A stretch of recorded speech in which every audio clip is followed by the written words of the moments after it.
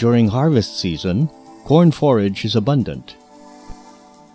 So instead of putting it to waste, why not conserve and use it as feedstuff for your livestock? It provides quality feeds for livestock all year round and can be another source of income. This video will show you how to conserve and use corn forage as feedstuff for livestock. In Mindanao, cattle commercial growers have been using corn forage as feeds for livestock. This is in the form of corn soilage. It is profitable for both corn farmers and cattle growers. A corn farmer may tie up with a big feedlot operator. In this arrangement, the corn farmer can earn a gross income of 60 to 70,000 pesos within 3 months, while cattle growers are assured of a whole year supply of good quality roughage, which is a very important component of efficient beef and dairy production. For small corn farm holders without the opportunity to tie up with a feedlot operator, the option available is corn livestock integration. This takes advantage of the food and feed components of the corn plant. Baby corn stovers are suitable for corn forage hay production because they are still very young and can be consumed even without chopping. Baby corn stovers are very nutritious and could be consumed by large ruminants such as cattle and carabao. These are the steps in corn forage hay production. Step 1. After harvest, sun dry or hang the dry baby corn stovers for at least 1 to 2 weeks depending on the weather. Step 2. Set aside by piling the corn forage hay for storage. Step 3. Store in a place safe from fire.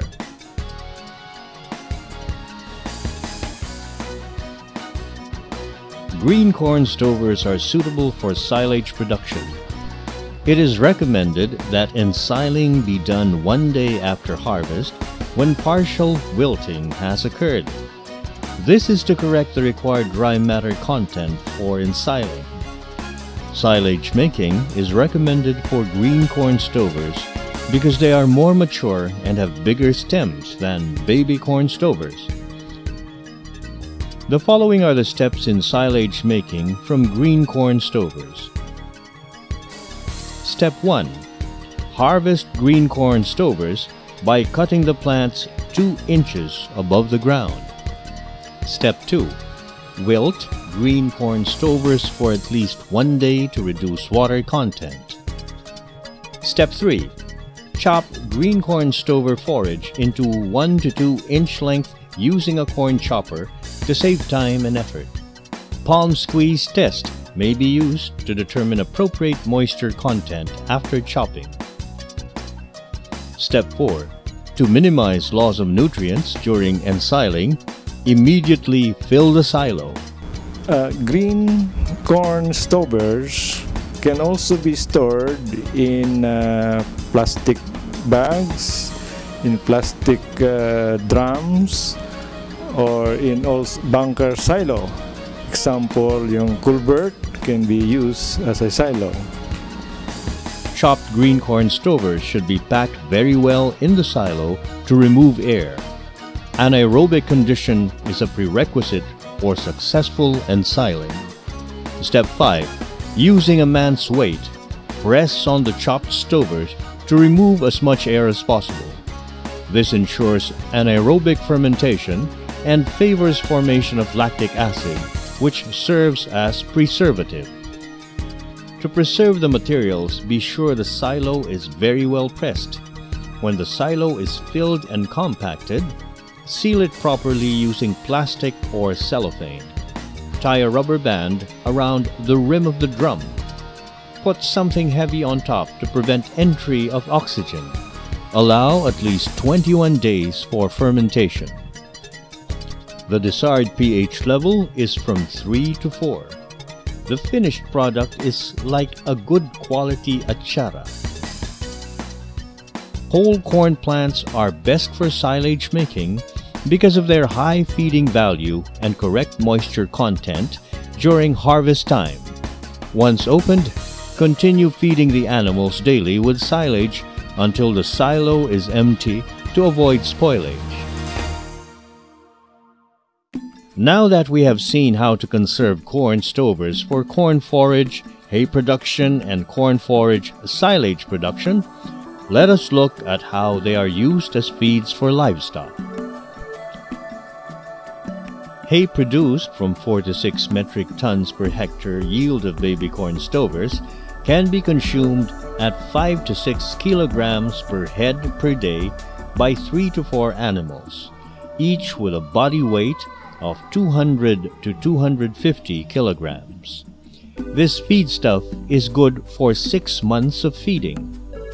Silage made of 30 metric tons per hectare yield of green stovers can be consumed at 25 kilograms per head per day by 5 to 6 animals, each with a body weight of 200 to 250 kilograms. This is also good for six months of feeding. Corn forages are an excellent source of energy for dairy animals as well as for fattening cattle and carabao. Corn forage hay and silage from green corn stovers are good sources of energy for beef and dairy production. Relatively, they are low in minerals like phosphorus, calcium, potassium, but with acceptable protein level. In order to supplement the needed minerals, you should add mineral sources to the hay or silage. Dried young grasses and legumes are good sources of protein and minerals. Ipil-ipil and malunggay are some examples of legumes. Commercially prepared high protein concentrate may also be added to the hay or silage. The amount of concentrate depends on the desired body weight gain and milk production. Let us now look at this recap of the steps in producing hay and silage. Baby corn stovers are recommended for corn forage hay production. The baby corn stovers should be dried for one to two weeks before feeding. For silage making, use green corn stovers. After cutting, wilting, and chopping, they should be packed tightly in a silo and allow at least 21 days to complete the fermentation process. Once silos are opened, use continuously until consumed. Inyo pong makikita ngayon ang uh, ating baka na kumakain ng mais na dapat po ito ating pakinabangan. Bagaman po ito ay inaakala nilang basura, ay ito po ay pera. Ito po ay napakagandang uh, pakain sa baka. Ito po ay pwede nating i-silage at may mga teknolohiya na po tayong uh, nandyan para dito sa silage. At ito po ay maaari nating ipakain pagdating ng panahon na tayo ay hirap na sa kumpay o sa pakain ng baka. Uh, ngayon ito po ang solusyon na dapat po nating uh, mapag-aralan ng teknolohiya, magamit natin ang uh, tinatawag nating dating basurang mais na magagawa nating page para sa ating baka. Forage conservation and utilization are very important farming technologies. They assure livestock growers of good quality feeds for their animals any time of the year and are a good source of additional income for the farmer.